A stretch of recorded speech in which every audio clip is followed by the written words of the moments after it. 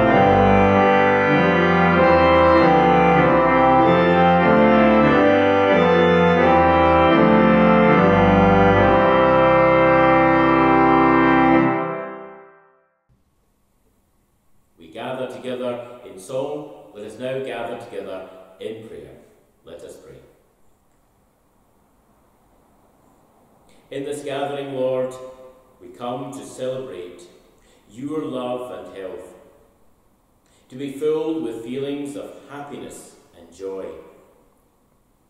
to be inspired in the Spirit and forge ahead in our faith, to find purpose and ways of serving to reflect your glory. Be ever present in the songs of praise we sing today. Be ever present in the stories of old that bring your truth to bear in our daily life. Be ever present in this time of fellowship and sharing of our news.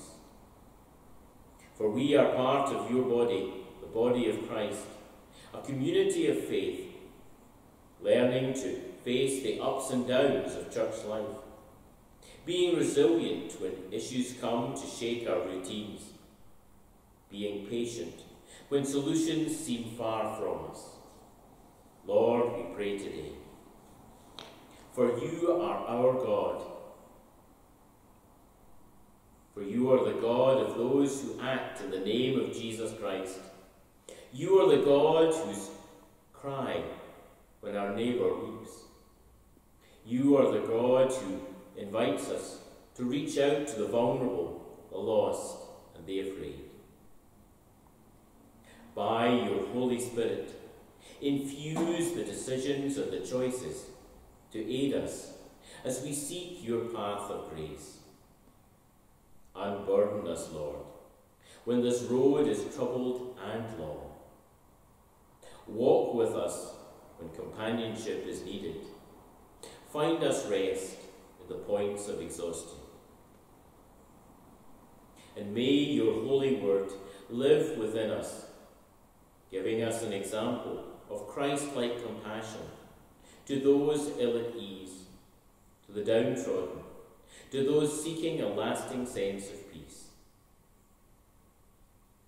And in this act of worship, Lord, allow us to let go of all that blocks us and that keeps us chained to our addictions and weaknesses.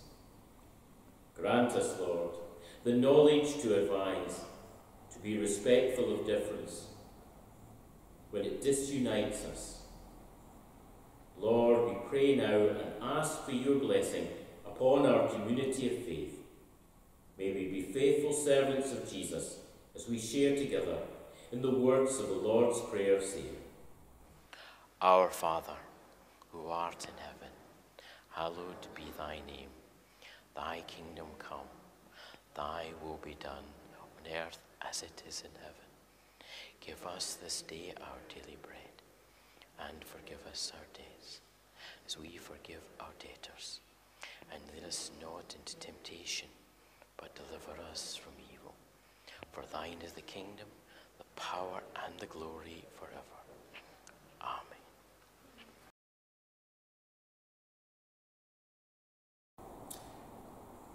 How many of you have a dog?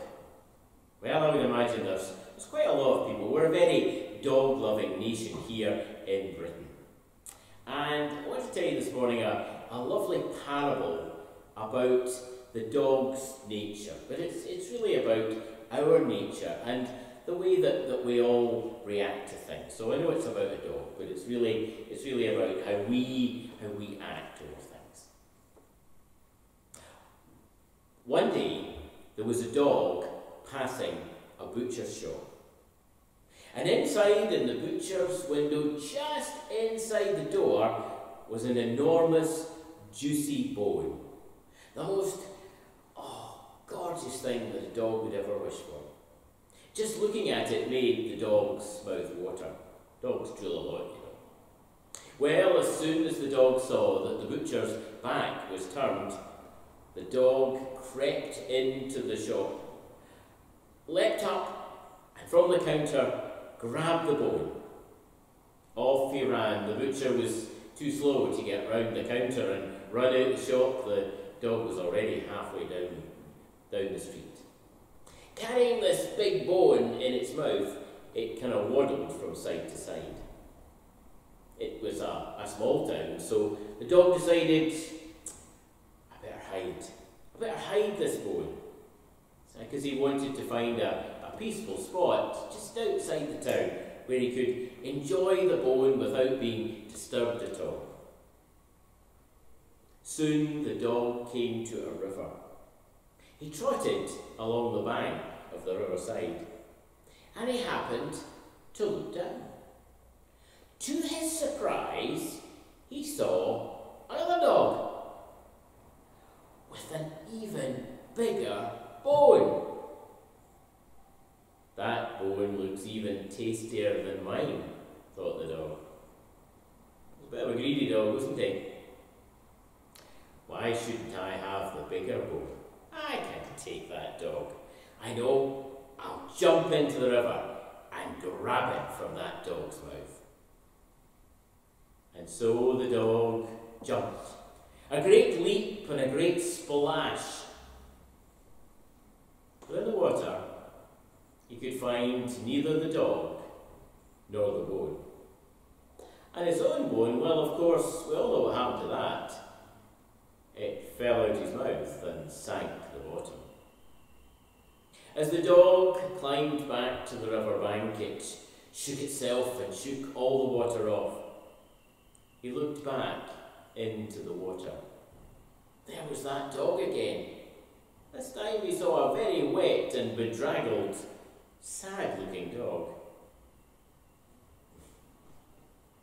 Did the dog realise that he was looking at his own reflection? Did the dog realise that if he hadn't been so greedy, he'd have still had that stolen bone, not that we're in favour of stealing bones. I still had that big, lovely, juicy bone. Thought the dove. Well, I'm sure all of us can relate to that story. That that's just a natural human condition. We all desire something that we can't have. We all desire something that's better than what we've got. We all think that the big juicy bone is better than the one that we have. It's a very salient lesson to learn, isn't it? And God teaches us that lesson each and every day. In the parables of Jesus, we hear that look at the, the birds in the air. They are contented flying around. For the Lord has counted the hairs on our head. Well, as you can see from mine, there's not many left. But what the parable means is that the Lord cares for us. We shouldn't desire all these things of life. We live in a world that breeds desire, desire is part of human nature. But it's our task to have the right desire. Amen, and may God bless to us His holy word. Our all age hymn today is a very old one, and a one that's a favourite from, from Harvest comes out of CH3 and it's God who made the earth.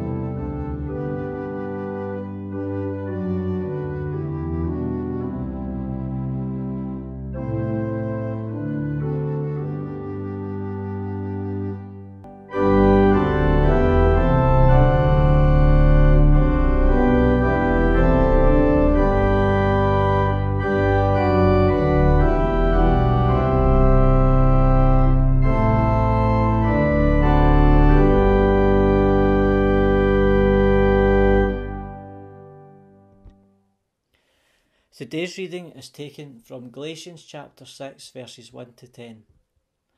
My friends, if someone is caught in any kind of wrongdoing, those of you who are spiritual should set him right. But you must do it in a gentle way, and keep an eye on yourselves, so that you will not be tempted to. Help carry one another's burdens, and in this way you will obey the Lord of Christ. If you think you are something when you really are nothing, you are only deceiving yourself. You should each judge your own conduct. If it is good, then you can be proud of what you have done without having to compare it with what someone else has done. For each of you have to carry your own load. If you are being taught the Christian message, you should share all the good things that you with you have with your teacher. Do not deceive yourself. No one makes a fool of God. You will reap exactly what you plant. If you plant in the field of your natural desires, from it you will gather the harvest of death. If you plant in the field of the Spirit, from the Spirit you will gather the harvest of eternal life. So let us not become tired of doing good, for if we do not give up, the time will come when we will reap the harvest. So then, as often as we have the chance, we should do good to everyone and especially to those who belong to our family in the faith. Amen, and thanks be to God. Our third hymn this morning is number 210 Awake My Soul.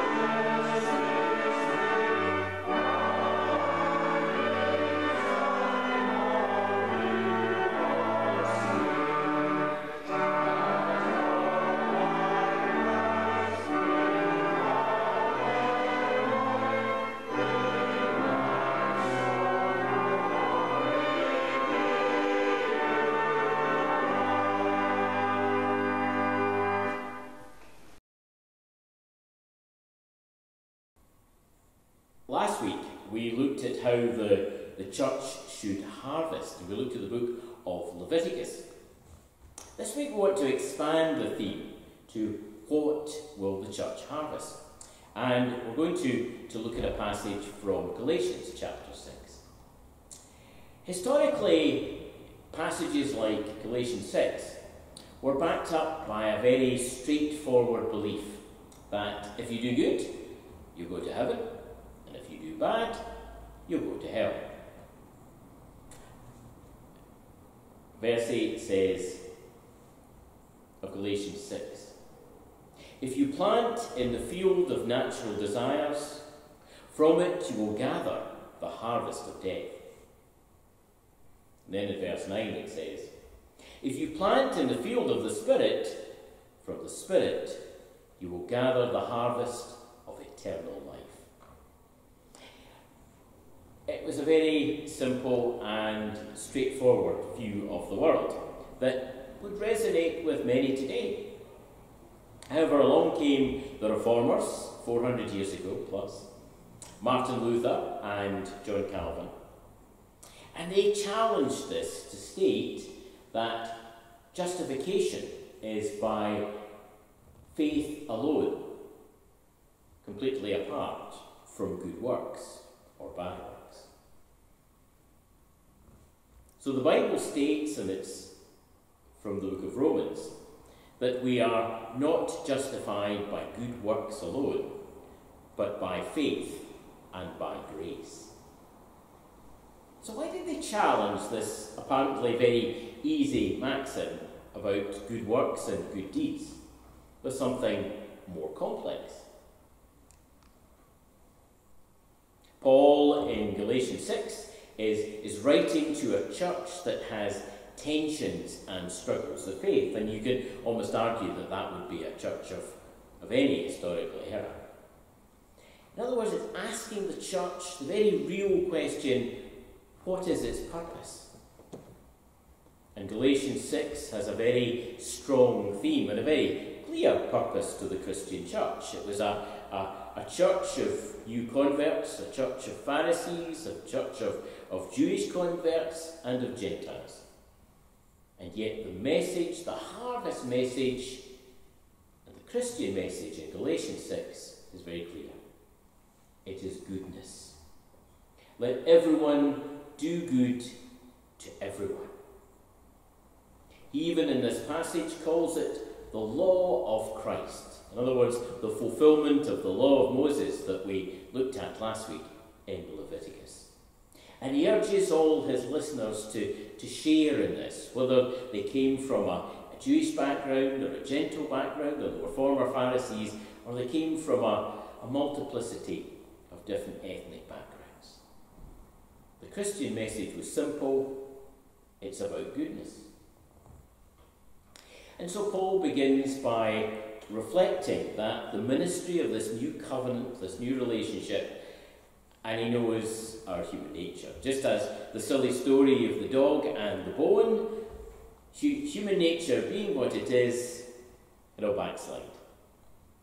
It was inevitable that things would go wrong, and whether it's the Galatian church that Paul is writing to, whether it's a, the church of the centuries, or whether it's our church today, oh, do you agree with that or not agree with that? Well, do we ever say the wrong thing?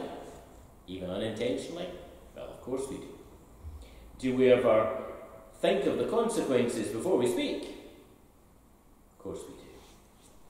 Do we let weariness shape our decisions? Well, of course we do. Do we ignore certain people and fawn after others? Of course we do. Is it our own self interest that we act, just like the silly story of the dog and the bone? Is that at the forefront in how we decide how to act and what to say? That's what Paul is lumps all these things together. And so he says in this chapter in Galatians, he says, pull them all together. It's our natural desires. In the King James Version, it uses it's of the flesh. In the message version of the Bible, it uses it's selfishness. It's not that Paul doesn't want us to do good, of course, he wants us to do good. But it's about the motivation of why we do good. Does the motivation come from our own ego, or does it come from God? Is it from self, or is it from our Creator?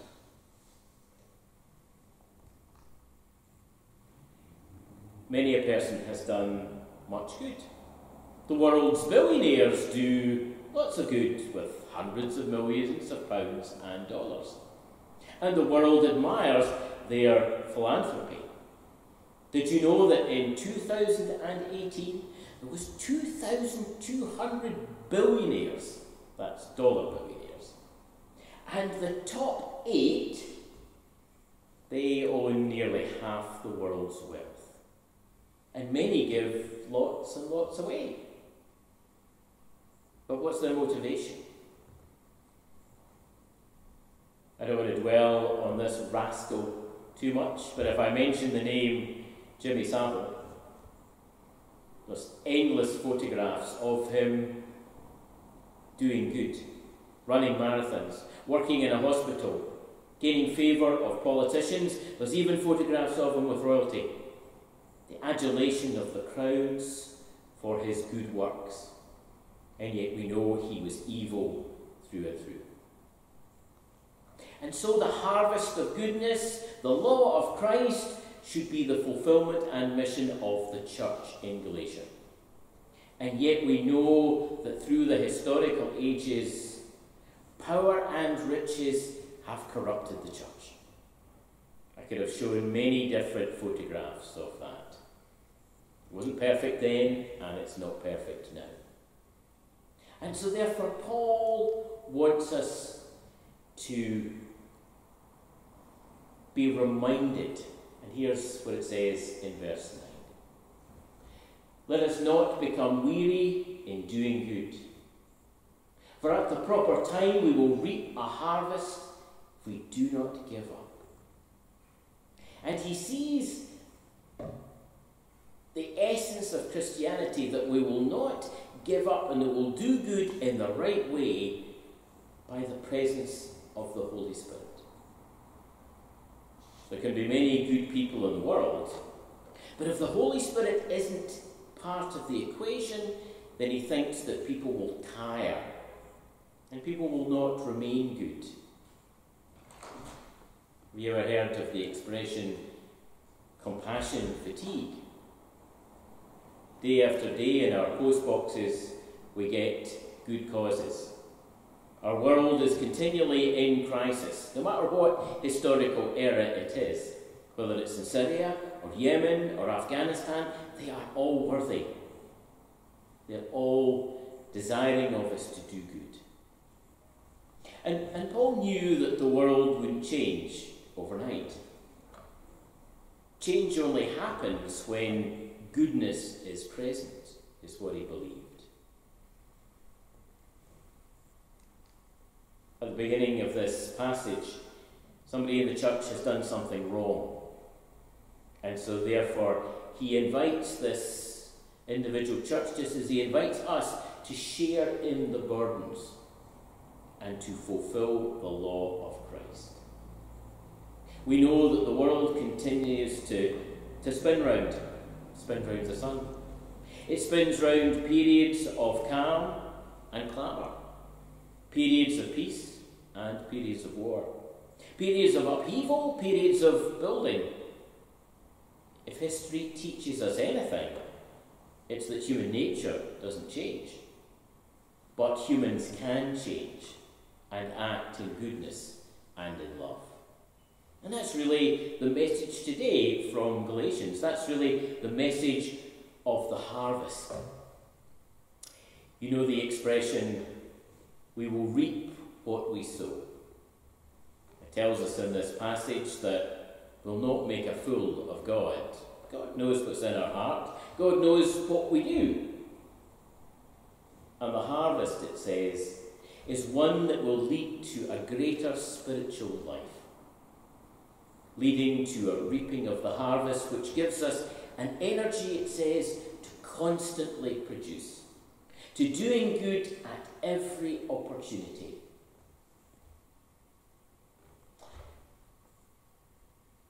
Next Sunday here in our church is our Harvest Festival, and we're all looking forward to that. So I'm inviting us today to look forward to Make it the harvest festival that most fulfills the history of this church. Let us renew our energy on that Sunday. Let us be filled by the Spirit. And let us, above all, be filled by that message of what sort of harvest do we want? One of goodness, of generosity, and then we will reap what we sow. Amen. May God bless to us His holy word.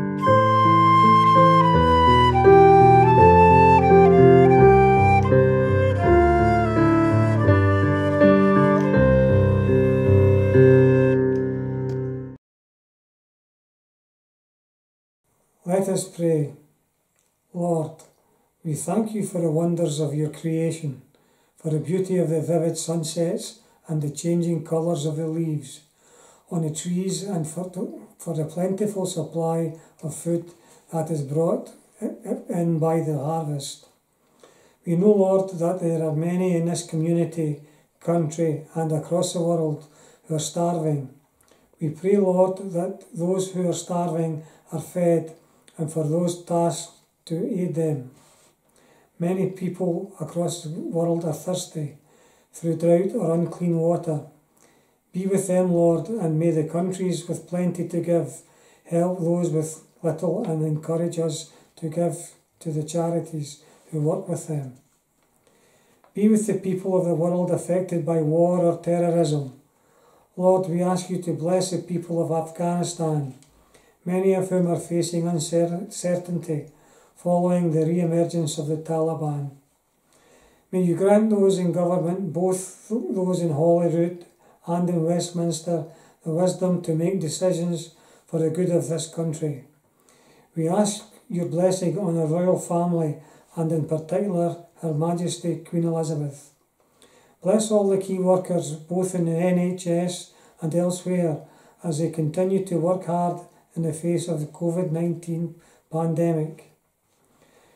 We pray to you, O God, for our church, for our Minister Keith, for his fruitful ministry, for our kirk session and office bearers, for the sometimes difficult decisions they must make and the hard work that they put in over the years.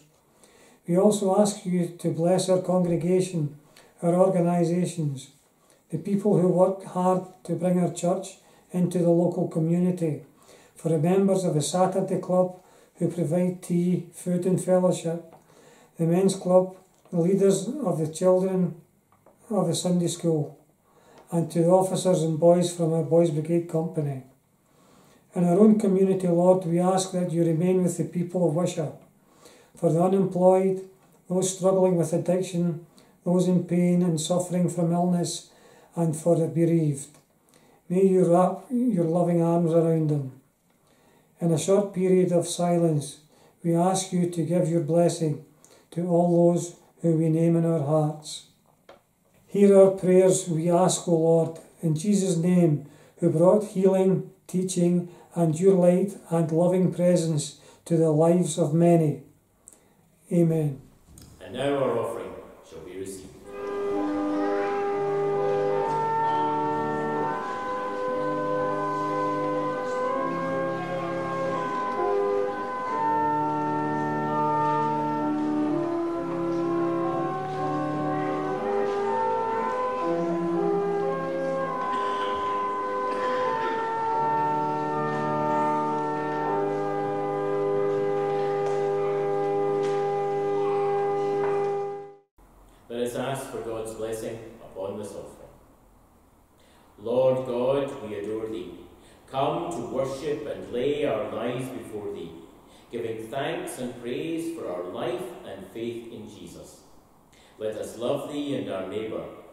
hearing thy word, grow in faith as we offer ourselves unto thee. Lord, accept these gifts in order that your word may be harvested and that goodness may reign throughout our land. This we pray in Jesus' name. Amen.